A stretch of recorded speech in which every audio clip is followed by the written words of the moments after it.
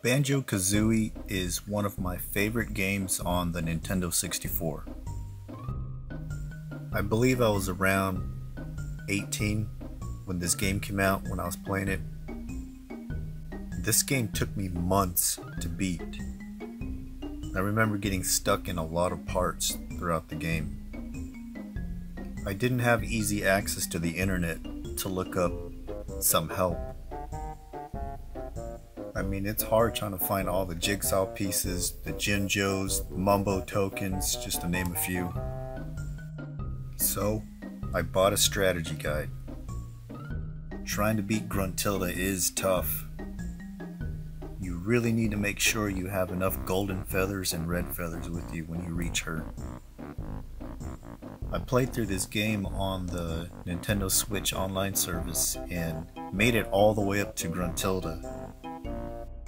One thing that really stood out to me playing this on the Switch was the controls.